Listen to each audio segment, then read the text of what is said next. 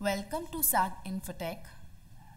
In this video tutorial, I will tell you how to download the bulk status of return filing details for GSTR 1, 3B and 4. For that, first go to GST returns, click on GSTR 1 button, select the month and the client.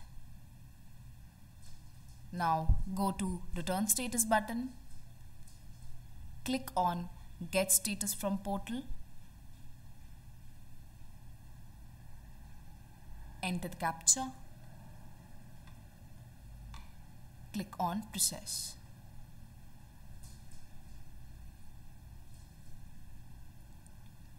Please wait.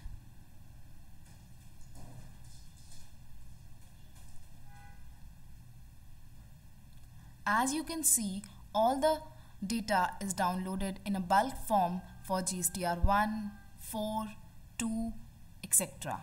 This is how you can download the bulk status for all the returns through our software. Thank you.